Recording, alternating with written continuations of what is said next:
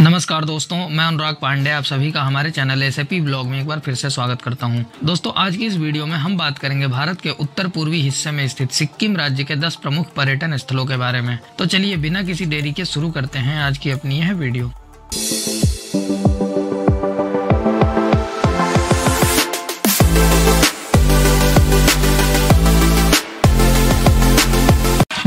एक गंगटोक। गंगटोक भारत के उत्तर पूर्वी राज्य सिक्किम की राजधानी है। यह एक बहुत आकर्षक शहर है, जो रानी पुल नदी के पश्चिम ओर बसा है। कंचनजंगा शिखर की संपूर्ण श्रृंखला की सुंदर दृश्यावली यहाँ से दिखाई देती है। गंगटोक के प्राचीन मंदिर, महल और मठ आपको सपनों की दुनिया की सैर कराएँगे। यहाँ देखने लायक कई स्थान है, जैसे गणेश टोक, हनुमान टोक तथा तासी व्यू पॉइंट। अगर आप गंगटोक घूमने का पूरा लुफ्त उठाना चाहते हैं तो इस शहर को पैदल घूमें। यहाँ से कंचनजंगा का नज़ारा बहुत ही आकर्षक प्रतीत होता है। इसे देखने पर ऐसा लगता है, मानो यह पर्वत आकाश से सटा हुआ है तथा हर पल अपना रंग बदल रहा है। अगर आपकी बौद्ध धर्म में रुचि है तो आपको इंस्टीट्यूट ऑफ़ तिब्बतोलॉजी ज़रूर घूमना चाहिए। यहाँ बौद्ध धर्म से संबंधित अमूल्य प्राचीन अवशेष तथा धर्म ग्रंथ रखे हुए हैं। यहाँ अलग से तिब्बती भाषा, संस्कृति, दर्शन तथा साहित्य की शिक्षा दी जाती है। इन सब के अलावा आप प्राचीन कलाकृतियों के लिए पुराने बाज़ार, लाल बाज़ार या नया बाज़ार भी घूम सकते हैं। इनके अलावा आप सोमगो झील, लाम पोखरी झील, आरिटार, रूमटेक मठ, दो ट्रूल चोरटेन, इनहेंची मठ टासी लिंग तथा टीसुकला खंग आदि देखने जा सकते हैं।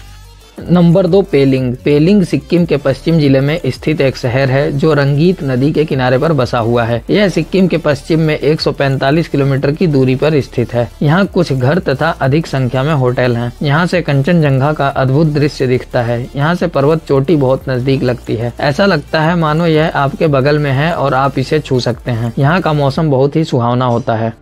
नंबर तीन लाचुंग। लाचुंग लगभग 3200 मीटर की ऊंचाई पर स्थित है। इतनी ऊंचाई पर ठंड तो पूरे साल होती है, लेकिन बर्फ़ गिरी हो तो यहाँ की सुंदरता को नया आयाम मिल जाता है। फोटोग्राफी के लिए यह जगह काफ़ी खूबसूरत है, इसलिए लोग यहाँ सर्दी के मौसम में भी खूब आते हैं। बर्फ़ से ढकी चोटियाँ, झरने और चांदी से झिलमिलाती नदियाँ यहाँ आने वाले पर्यटकों को स्तब्ध कर देती है। आमतौर पर लाचुंग युमथांग घाटी के लिए बेस के रूप में प्रयुक्त होता है। युमथांग घाटी को पूर्व का स्विट्जरलैंड भी कहा जाता है।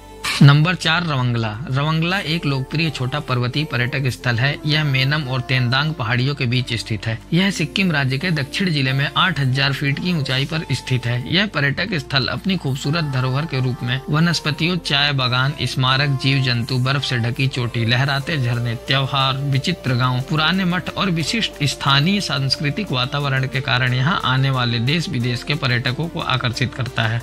नंबर पाँच, कंचनजंगा बायोस्फीयर रिज़र्व। कंचनजंगा राष्ट्रीय उद्यान भारत के सिक्किम में स्थित एक राष्ट्रीय उद्यान और बायोस्फीयर रिज़र्व है। इसे जुलाई 2016 में यूनेस्को की विश्व धरोहर स्थलों की सूची में अंकित किया गया था, जो भारत का पहला मिश्रित विरासत स्थल बन गया। इसे UNESCO man and the biosphere programme में भी शामिल किया गया था। पार्क का नाम पर्वत कंचनजंगा के नाम पर रखा गया है, जो आठ हज़ार पाँच सौ छियासी मीटर यानी अट्ठाईस फीट की ऊंचाई पर दुनिया की तीसरी सबसे ऊँची चोटी है। पार्क का कुल क्षेत्रफल आठ किलोमीटर है। पार्क के अंदर कुछ लेपचा आदिवासी बस्तियाँ हैं। पार्क में थोलुंग मठ है, जो पार्क के बफर जोन में स्थित एक गोम्पा है। इसे सिक्किम के सबसे पवित्र मठों में से एक माना जाता है। पार्क की वनस्पति में समशीतोषण चौड़ी पट्टी और मिश्रित वन शामिल है, जिनमें ओक, प्राथमिकी, संटी, मेपल, वीलो शामिल है। पार्क की वनस्पति में कई औषधि पौधों और जड़ी बूटियों के साथ उच्च ऊंचाई पर अल्पाइन घास और झाड़ियाँ भी शामिल हैं। नंबर छह लाचेन। लाचेन एक छोटा सा शांत कस्बा है जो सिक्किम राज्य के उत्तरी ज़िले में स्थित है। इसके नाम का अर्थ है बड़ा दर्रा और हाल ही में सिक्किम सरकार द्वारा पर्यटन केंद्र के रूप में विकसित किए जाने के कारण यह काफ़ी लोकप्रिय पर्यटन गंतव्य बनता जा रहा है। लाचेन प्राकृतिक सुंदरता और वन्य जीव जंतुओं की विविधताओं के कारण लगभग सभी पर्यटकों को रोचक लगता है। गंगटोक से लगभग एक सौ उनतीस किलोमीटर की दूरी पर लाचेन सत्ताईस मीटर की ऊंचाई पर स्थित है। यह गुरु डोंगमार झील और चोपटा घाटी के लिए आधार के रूप में कार्य करता है। लाचेन में थांगू नामक अनोखी याक दौड़ भी वार्षिक रूप से आयोजित होती है। लाचेन में घूमने आने का सर्वश्रेष्ठ समय नवंबर से जून के बीच है। इस दौरान यहाँ का मौसम सुहावना रहता है। गुरु डोंगमार झील और थांगू लाचेन के पर्यटन स्थल हैं। नंबर सात युक्सोम युक्सोम सिक्किम के पश्चिम ज़िले में स्थित है। धार्मिक स्थलों की एक सरणी से घिरा हुआ गेंजिंग में यह ऐतिहासिक शहर सिक्किम में एक लोकप्रिय पर्यटन स्थल है और ट्रैकर्स के बीच काफ़ी लोकप्रिय भी है। युक्सोम वह शहर है जिसे उत्तर पूर्वी भारतीय राज्य सिक्किम का पहला राजधानी घोषित किया गया था। और वर्ष सोलह सौ बयालीस ईस्वी में फुनसोग नामग्याल सिक्किम के पहले चोग्याल धार्मिक राजा द्वारा स्थापित किया गया था। चोग्यालों ने सिक्किम में करीब 333 वर्षों तक शासन किया। इस जगह के बारे में एक विशेषता है। युक्सोम में स्थानीय लोगों द्वारा सकारात्मक रूप से युक्सोम के साथ साथ सिक्किम के अन्य स्थानों में इको टूरिज़्म को बढ़ावा देने के विचार को अपनाए जाने के चलते यह स्थान अब इको टूरिज़्म गाँव के रूप में जाना जाता है। युक्सोम में पर्यटन की दृष्टि से कई बहुत ही रोचक जगह है, जिनमें रथोंगचू नदी, केचेओ, पलरी, झील, तिब्बती बौद्ध मठ डुबडी मठ करटोक मठ और तासीन दिंग मठ आदि प्रमुख हैं। नंबर आठ नामची. भूटिया भाषा में नामची का अर्थ होता है आकाश जितना ऊँचा. गंगटोक से बानवे किलोमीटर दूर स्थित नामची सिक्किम का एक चर्चित पर्यटन स्थल है। यहाँ से दार्जिलिंग, कलीम, पोंग हिल्स और अन्य बर्फ़ से ढके पहाड़ों के अलावा खूबसूरत घाटियों का विहंगम नज़ारा देखने को मिलता है। समुद्र तल से 1675 मीटर की ऊंचाई पर स्थित नामची को हाल ही में उस समय प्रसिद्धि मिली, जब यहाँ सिक्किम के एक संत गुरु पद्म संभव की विशाल प्रतिमा का निर्माण किया गया। इसे विश्व की सबसे ऊँची प्रतिमा होने का भी गौरव हासिल हुआ। नामची को बौद्ध मठों और ऊँची ऊँची चोटियों के लिए भी जाना जाता है। सिलीगुड़ी से 90 किलोमीटर दूर स्थित नामची पश्चिम बंगाल से काफ़ी करीब है। साथ ही सिक्किम के कई प्रमुख शहर भी यहाँ से दूर नहीं है। प्राकृतिक सुंदरता के अलावा अपने समृद्ध इतिहास पर्यटन स्थलों में विविधता और कई गतिविधियों के कारण नामची पर्यटकों की पहली पसंद बनता जा रहा है। नामची के प्रमुख पर्यटन स्थलों में नामची मठ, रालंग मठ समुद्र से हिल का निष्क्रिय ज्वालामुखी, Tendong hill, rock garden, Doling Gompa, Temi चाय बागान और चार धाम प्रमुख है। हर साल फरवरी के महीने में नामची में सिक्किम के सबसे बड़े फूल प्रदर्शनी का आयोजन किया जाता है। इस प्रदर्शनी में विभिन्न प्रजाति के फूलों को देखा जा सकता है। इतना ही नहीं, नामची के वाईचुंग स्टेडियम में गोल्ड कप फुटबॉल टूर्नामेंट का भी आयोजन किया जाता है, जिसमें भारी संख्या में भीड़ उमड़ती है। सरकार ने इस स्टेडियम का निर्माण सिक्किम के फुटबॉल खिलाड़ी वाईचुंग भूटिया के सम्मान में कराया था। मार्च से जून का समय नामची जाने के लिए सबसे अच्छा माना जाता है। नंबर नौ जुलूक जुलूक पूर्वी सिक्किम में निचले हिमालय के दुर्गम इलाके में दस हज़ार एक सौ फीट की ऊंचाई पर स्थित है, जिसे द जुलूक के नाम से भी जाना जाता है। एक घुमावदार सड़क के बगल में एक विचित्र शहर है। प्रारंभ में यह यादगार सिल्क रूट के माध्यम से तिब्बत को भारत से जोड़ने वाला एक यात्रा बिंदु था।